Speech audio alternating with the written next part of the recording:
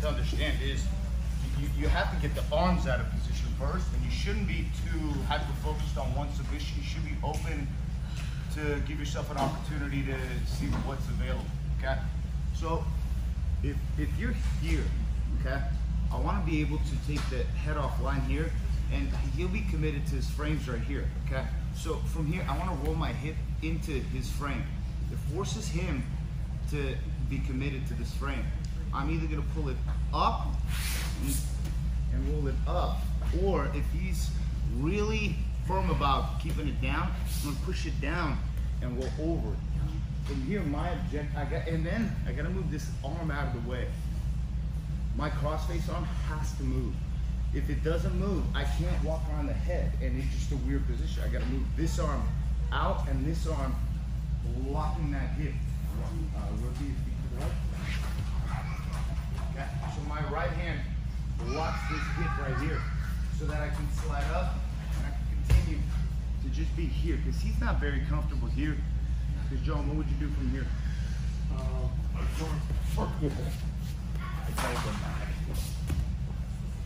He's not comfortable, I assure you. Yeah. And you see how it exposes that arm going on the side? And it's fantastic because you have a lot more options here. And one option he doesn't have is to put you back at a half guard from here or recover a guard. He's got to really be worried about this right here. Because this Kimura is a big threat right here. But even if he holds on to it, it's fine.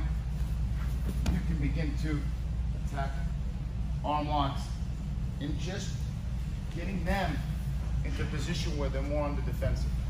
If they're here, okay, that's the thing. Then we have Professor Brad.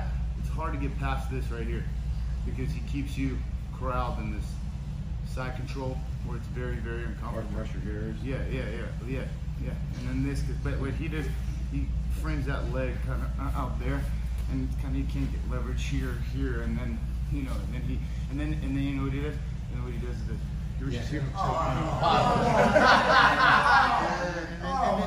grabs your hand. Reach over with your left. hand. Yeah, yeah, yeah. Yeah, yeah, and then he grabs your, and then he with his, the rolls here with this way. He does this, and then he spits, and then he dunks your head. Yeah. Does all that stuff.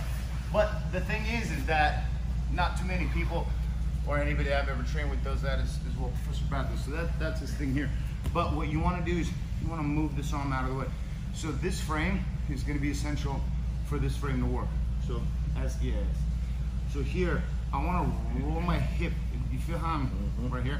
So I'm either going to pull it or I'm going to C-frame and push it down right here and roll my hip over it. But then I need to move this arm. I guarantee you, and I'm just doing it carefully, that his right arm doesn't feel good. He's going to move it. But he exposes this arm here and I stay under it here. Because now he's got to do something with that arm. Because now that one's exposed here. So that's potentially a key lock right here. But he straightens it out and hides it right here. And now you're here. Okay? Switch it here, here, here, here. Okay? The key is to also move your arms properly. So as I'm here, that this hand is gonna cup and attach to my hip. My elbow's more at the hip. So if he's framing here, I can go one, two. And now his arms nice and out of position here. And that's a bad thing for him. Because then you have that. Professor Brad likes to do that, that one also as well. And then how to, how to finish this head on triangle, whatever this would be. You dip that right shoulder. And then you reach, if you can reach and cover their eyes, your hand is pushing their head down and their neck's getting cranked. Okay, Josh? So what you do is, is that you have to dip your right shoulder, it's on the right side, and then you stretch with that right hand and you clamp right here so that the left hand can come through. I cover his eyes and squeeze. But I'm gonna cover one eye, just like that strap on your belt. Hey!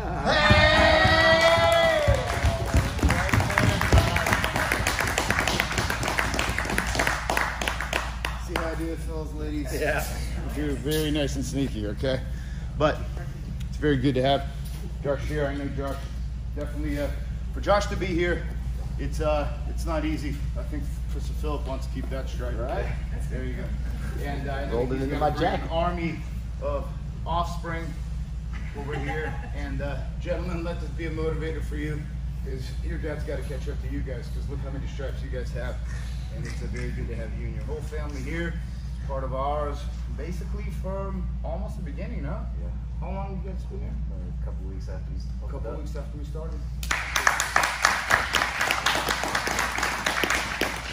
All right, guys. So remember, you move that left hand over the head, and that right hand blocks that hip. Let's go. One, two, three. What's up, bro?